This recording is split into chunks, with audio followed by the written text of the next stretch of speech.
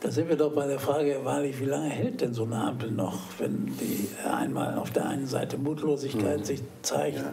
und nichts richtig äh, auf den Weg kommt, sondern nur starke Worte, die dann im Nirvana sich auflösen in lichte Wolken? Ja, vielleicht erleben wir den Beginn von einer kreativen Zerstörung. Dieser, dieser Laden wird nicht mehr lange zusammenhalten.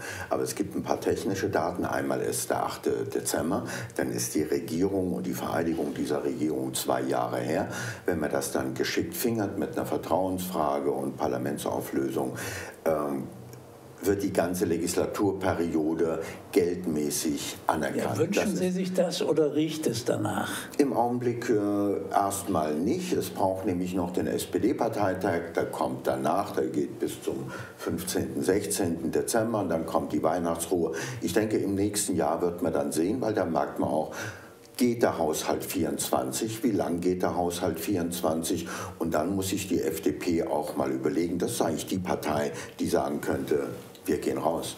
Wir regieren so schlecht, dass wir besser nicht regieren.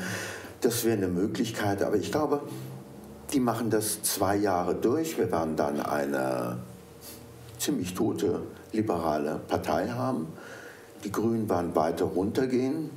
Und die SPD im Augenblick hat ja diese Regierungskoalition 35, 33 Prozent. Das heißt, die dürften eigentlich keine Gesetze machen, die für ein ganzes Staatswesen bindend sind. Diese Regierung hat fertig und macht aber weiter. Das ist sowas wie eine Zombie Zombiehaftigkeit.